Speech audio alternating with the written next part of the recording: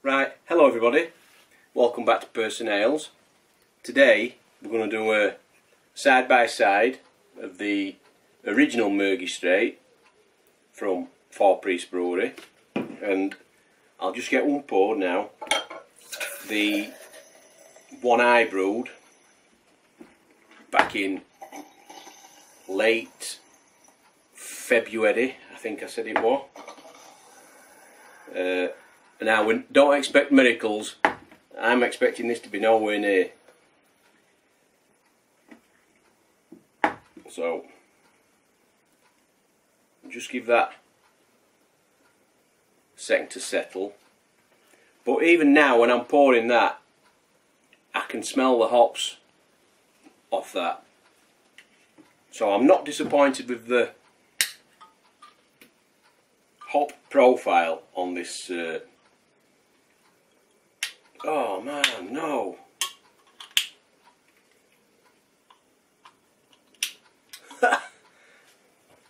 We've had a malfunction on can.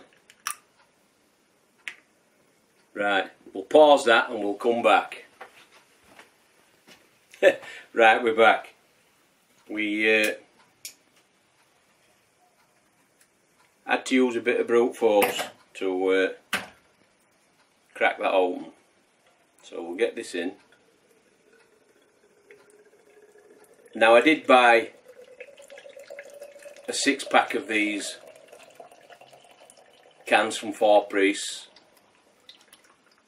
at Christmas. I got a, a mixture, two well, two of each. Uh,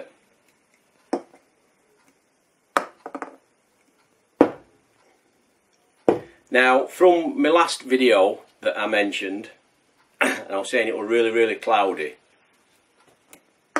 it has cleared up a little bit. But if I just maybe just come round here a bit. So that's the uh, Four Priest one. Really nice. Clear. Nicely carbonated. And there you have mine. Now, mine does pour a decent pint. I get a nice head on it. And I do know that, or I'm pretty sure, that the brew it for cask uh, initially and then they just can a few. I don't think he does many in keg, if any at all. So we'll just have a quick taste of the original, which is crystal clear, and it has been sat three, four months now. So, cheers everybody.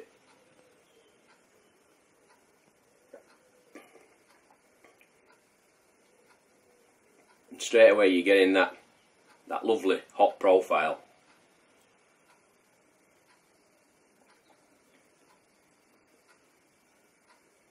And I think because that's carbonated,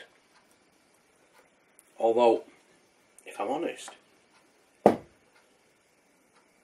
don't think it's as carbonated as the last can of it I had. But that could be a little bit of a fault somewhere there. It might have just been letting it escape or something, I don't know, but it, I don't think that is quite as carbonated. as the other one. There is carbonation in there. But lovely. A lovely beer. You're getting that Talus and Citra coming through. It's got a nice body on it. Then you go to mine, and if you look, mine, I said it, it were a little bit thin. It even looks a little bit thin but it doesn't taste as thin as it looks. And yet, hop profile wise, they're pretty even. Really are pretty even.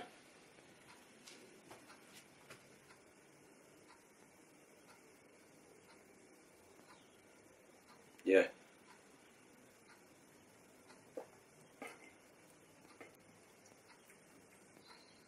But you gain that nice fruitiness in that citra, bit of tropical. So right onto mine. Appearances for a hand pull. If that were crystal clear, that'd be absolutely spot on. And like I said, it has cleared out to what it was, but it holds that head. So we'll go in.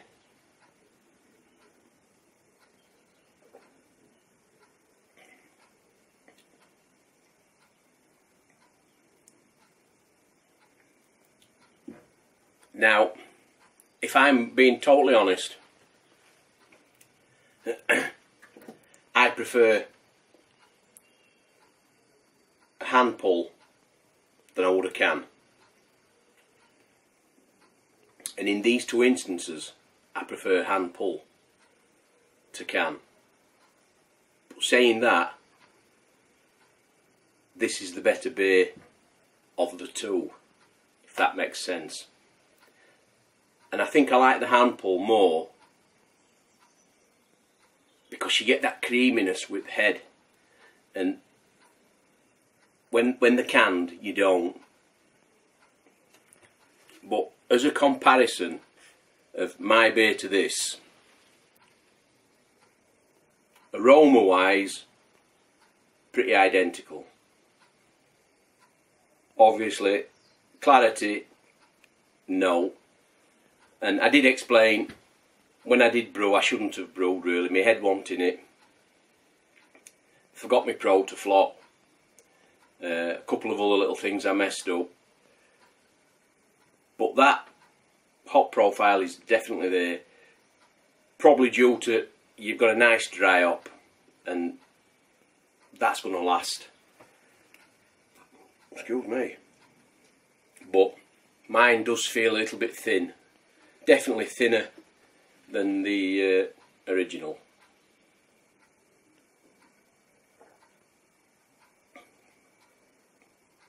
So I'm a little disappointed with mine.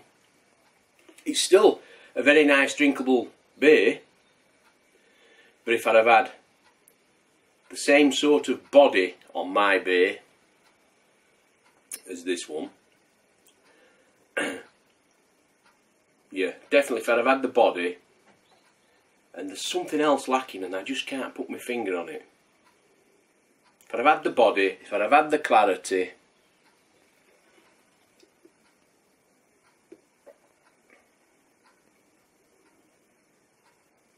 and this is more rounded.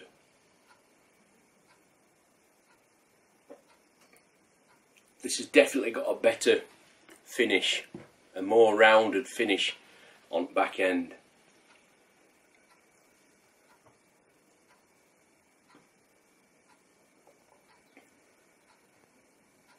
Where this just seems to die away a little bit. But I will be doing this again, definitely. Uh, and you know, I can't remember where I got the re the recipe from. Uh,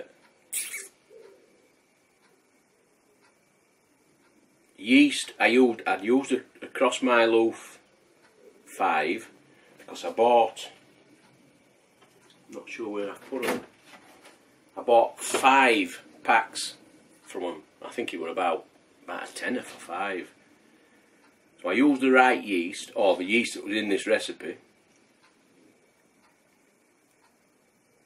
I dry hopped uh, See, this is, I, I didn't follow this. This is saying mash thickness, 3 litres a kilo, a grain. And I always go to two and a half.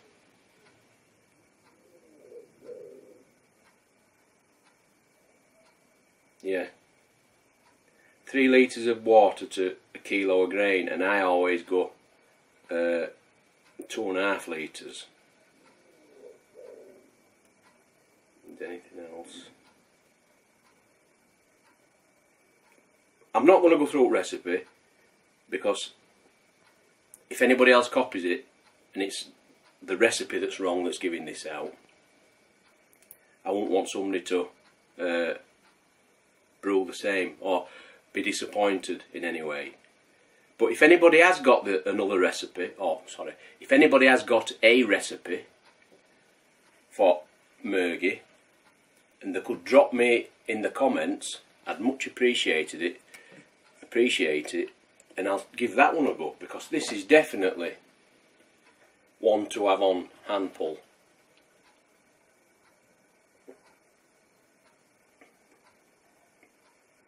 Really is. If that body were just a little bit thicker.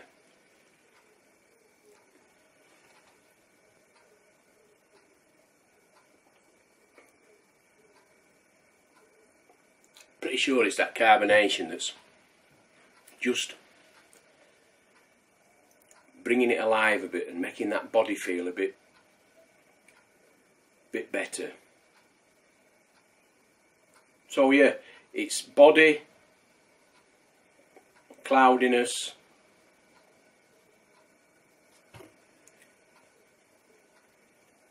they're the main two things that I'm disappointed with on my beer. But on the on the whole, I've got a nice drinkable beer. Maybe not quite the beer I intended, but nevertheless, still a good drinkable beer. Uh, and we're going to keep this one short and sweet. I'm now going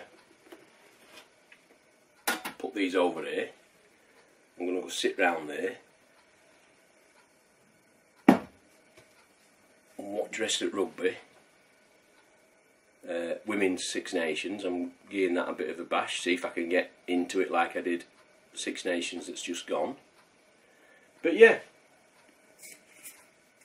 Murgy, really good beer, uh, apart from a bit of a faulty can. but these things happen. So there you have it. Not quite the beer I wanted, but still a good drinkable beer, and definitely one to have in your rotation if you've got a hand pull. Uh, possibly might even try it on tap. I don't know, but I am fond of my hand pull. There we have it. Anyway, until next time, fellas. Cheers.